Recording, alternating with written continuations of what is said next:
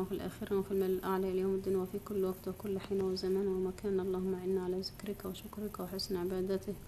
اللهم إنك عفو كريم تحب العفو فاعف عنا عفوك رضاك وحسن لقاك يا رب العالمين.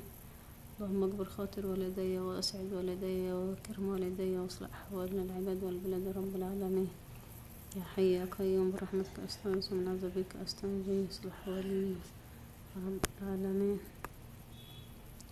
اللهم لك الحمد ولك الشكر يا حي يا قيوم.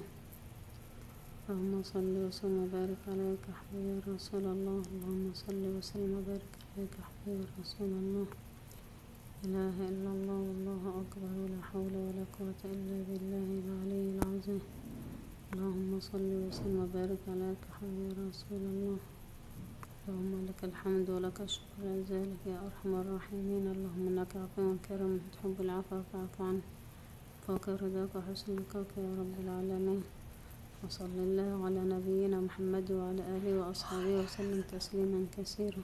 فضل شهر رمضان والصيام وفضل هو شهر القرآن وشهر الصبر وشهر الصدقات وشهر الزكاة وشهر إطعام الطعام وشهر الخيرات كلها. فضل شهر رمضان له عدة. فضل كثير وفضل الكثير لا يعد ولا يحصى. اللهم صل وسلم وبارك عليك حبيبي يا رسول الله.